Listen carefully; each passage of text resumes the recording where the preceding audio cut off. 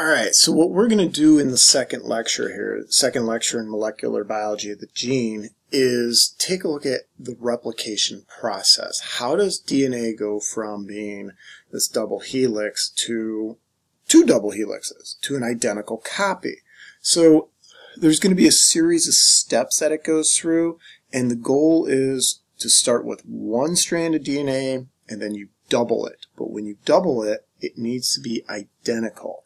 So what I'm going to do is show you guys a little video, really good video that is sitting out there on YouTube. I'm going to screen record it for you so you can take a look at how this process works, talk about it, and then the thing I really want you to understand with DNA replication is A, it's what we call semi-conservative, but it also is a critically important process to ensure the genetic accuracy of every single cell that's getting replicated. Alright, so let me move the video over here for you.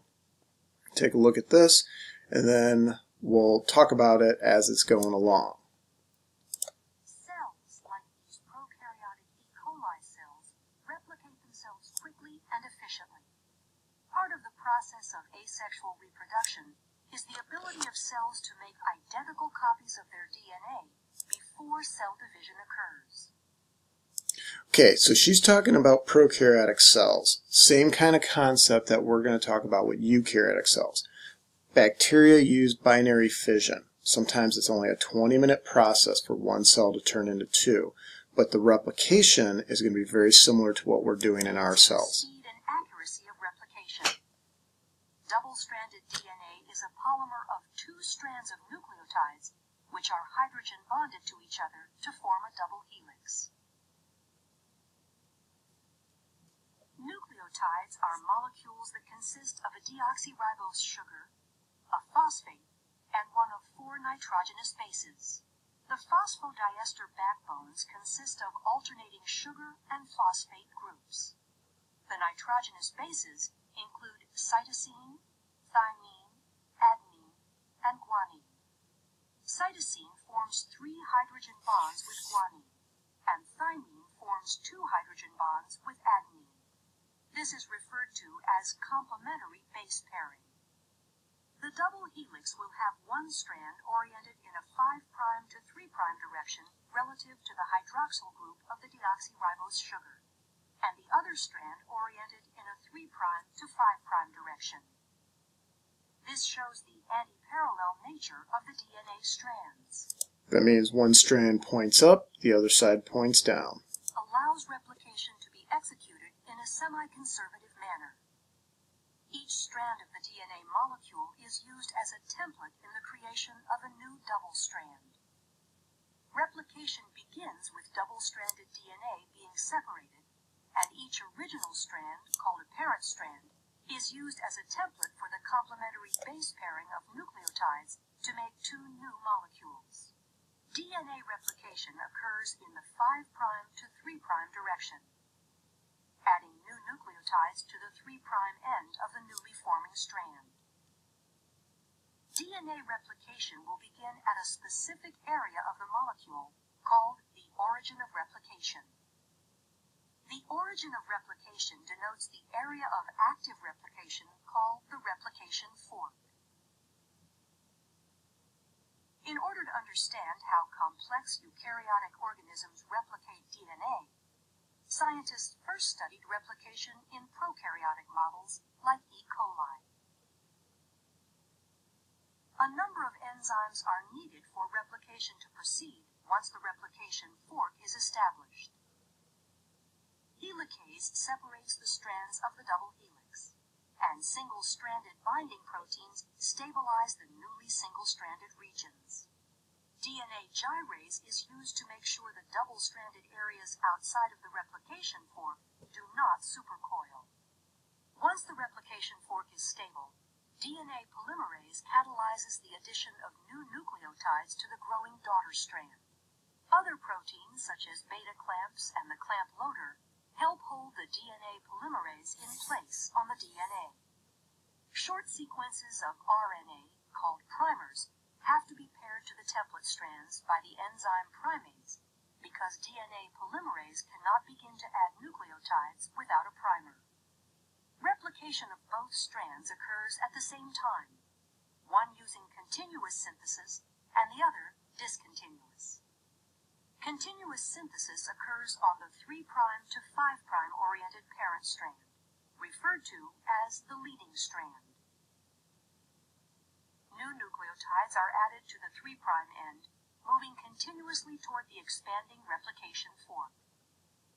Discontinuous synthesis occurs on the parent strand that is oriented 5' to 3', called the lagging strand, and is completed in segments called Okazaki fragments. Replication on this strand uses primase to add primers ahead of the 5' end of the lagging strand. DNA polymerase III then adds short sequences of nucleotides, the Okazaki fragments, to the primer, filling in the gap. As the helix is opened further, this process repeats until the entire strand is replicated.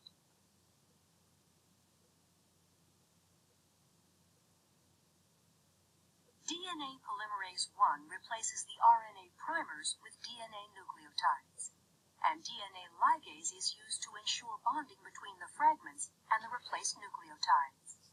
Once both the leading and lagging strands have completed their replication, two identical copies of the DNA molecule result. The process of DNA replication allows actively dividing bacterial cells to make sure all daughter cells have the same genetic instructions as the parent cell, allowing them to function in the same manner. Thus, bacterial populations can grow, increasing the number of individuals in a colony. Okay, so a lot of terminology there that you're probably going, what's going on here? So we're going to break it down, make it basic, simple, key things that I want you guys to understand and to know.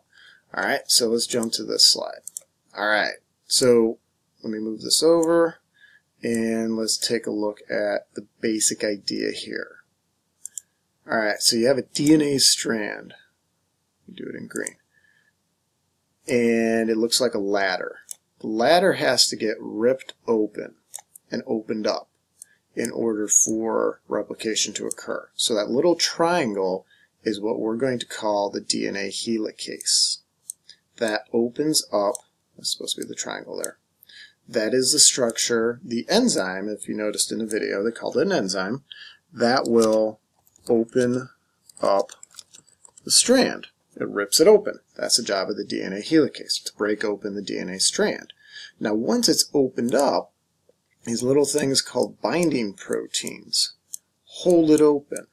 Those are little blue X's here. So a binding protein is going to hold the strand open because the natural tendency will be for the strand to close back up and the bonds to reform. Okay, hold the strand open with the binding proteins. Now, DNA has to know, well, where do I start replicating? Well, that is what the RNA primers do. So there will be one here and one here.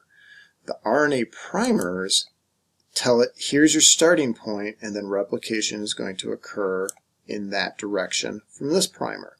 Primer up here, replication occurs in that direction from that primer. So the primers, the RNA primers, are the starting point for replication. So they have to be put there to say, all right, this is where you start replicating.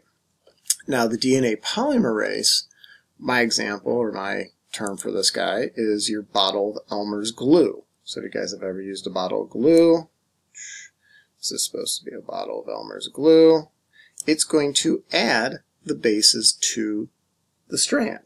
So if there was a T here, Elmer's glue is going to put an A here. If there was a C here, Elmer's glue would put a G here. On the other side of the strand, there would have been an A here. Elmer's glue is going to put a T. If there was a G here, Elmer's glue would put a C. So its job is to, the polymerase I want you to worry about, the video talked about different ones, but the polymerase I want you to focus on will attach the complementary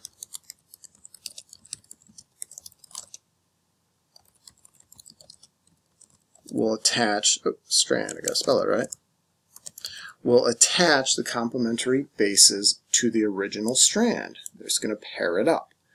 And then the DNA ligase, its main job is to come in and proofread the new strand. It's going to look over this and it's going to try to identify are there mistakes, are there errors. Let's fix it. Proofread it and fix errors if possible. Hopefully there are none, but in reality there will always be errors on the DNA strand. Okay, so key structures. These are all protein-based enzyme structures. If you don't have the right pH or the right temperature or the right amino acids, these structures do not form. Now you compromise DNA replication and mutations can show up and errors can occur and mistakes happen and that is never ever a good thing. Okay, so the pretty picture of it, this is what it looks like as it's replicating. There's that region of replication, they call it the replication fork, where all the activity is happening and then the new strands kind of string out and move away from the replication fork. But keep in mind, it's not starting at the top. It's not like, here's your chromosome, I'm just going to stretch it out, and replication starts here and only goes like this, down and down and down.